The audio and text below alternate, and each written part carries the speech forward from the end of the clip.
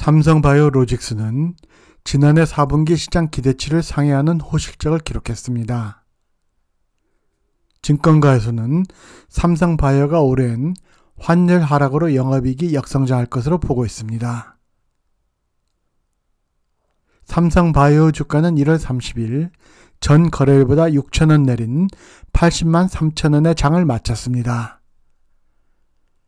이날 거래량은 11만 6천여 주로 전 거래일보다 39%가량 증가했습니다.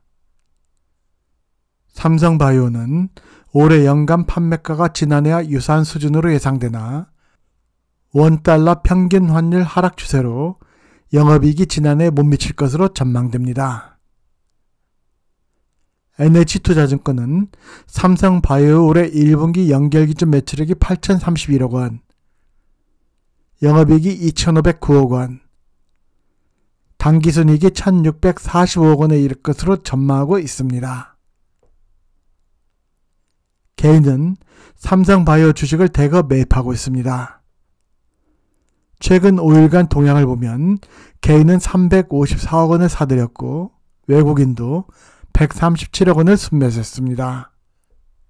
기관은 491억 원을 순매도했습니다.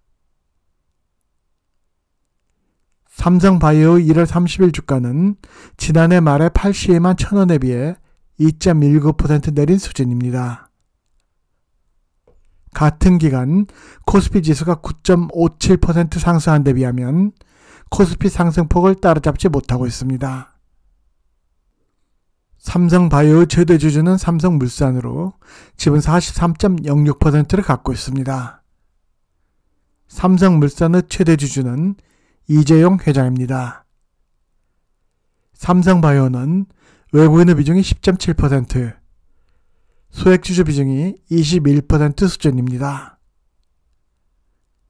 글로벌 이코노믹은 스톡TV가 특허 출연한 BM 모델을 이용해 동영상을 제작하고 있습니다. 동영상은 참고용이며 투자자에 대해 어떠한 책임도 지지 않습니다.